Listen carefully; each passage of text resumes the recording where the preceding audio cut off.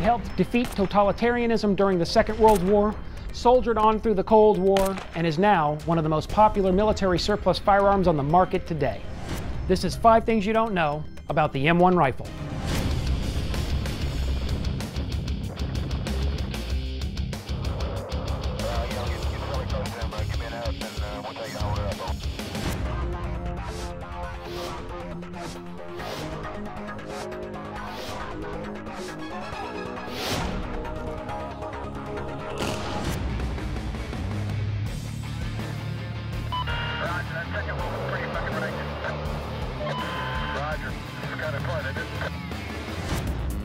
In service from 1936 through 1957, the M1 Garand was the first standard issue semi-automatic rifle adopted by the U.S. military.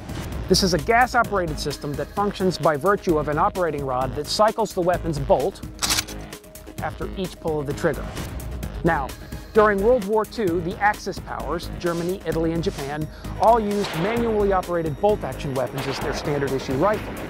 So the M1 Garand, with its self-loading action, gave U.S. troops a distinct volume of fire advantage because they were able to fire eight rounds without moving their hands from the firing position.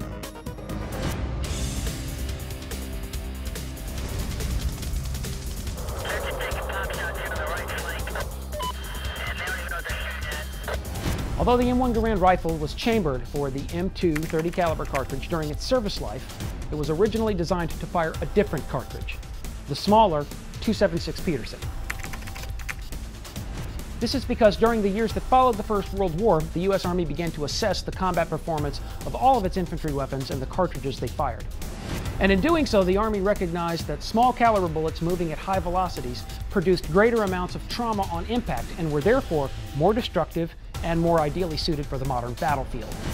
So, when John Cantius Garand, an engineer at Springfield Armory, first designed the M1, he designed the rifle as a 10-shot semi-auto chambered in 276 Pedersen. However, the Army ultimately elected to abandon the 276 Pedersen cartridge and instead continue to use the M2 30 caliber, which had already been in service since 1906. Garand modified his design to fit the M2 30 caliber, and when he did so, the larger size of the cartridge meant that the rifle could no longer accommodate 10 shots, which is why it was ultimately reduced to an 8-round capacity.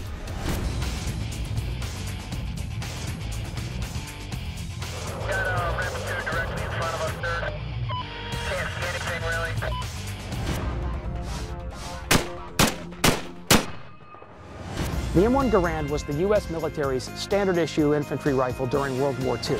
And while it demonstrated itself to be a robust, reliable, and effective weapon with no significant shortcomings, it did soon inspire a new design.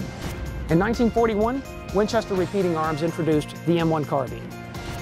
The M1 carbine is lighter, smaller, and it fires a different cartridge, but its short-stroke gas piston and rotating locking bolt were based on the Garand system. These two weapons served side by side throughout World War II, and the fact that the Garand's operating system could lend itself to another caliber so readily reveals just how exceptional that rifle's design was.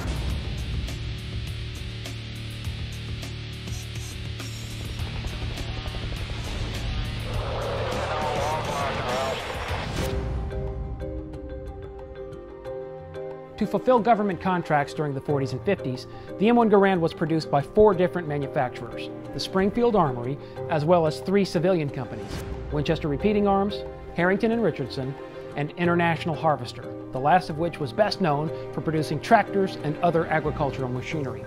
Between 1932 and 1957, these manufacturers produced a combined total of approximately 5.5 million M1 Garand rifles, with International Harvester producing just under 338,000.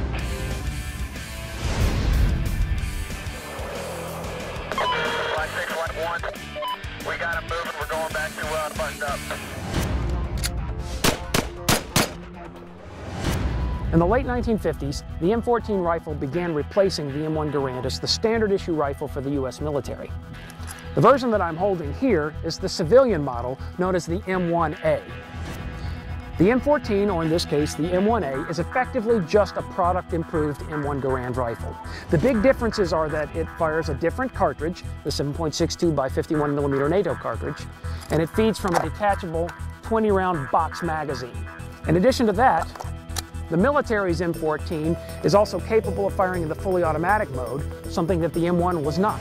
Despite these differences, though, you can clearly see the influence of the M1 Garand in this weapon.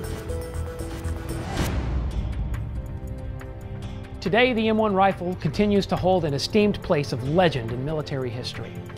Its impact on the Second World War was so immense that one of the top military leaders of the era called it the greatest battle implement ever devised. Do you know who said that?